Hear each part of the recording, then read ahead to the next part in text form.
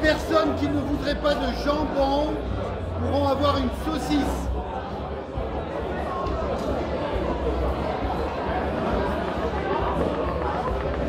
Ah bravo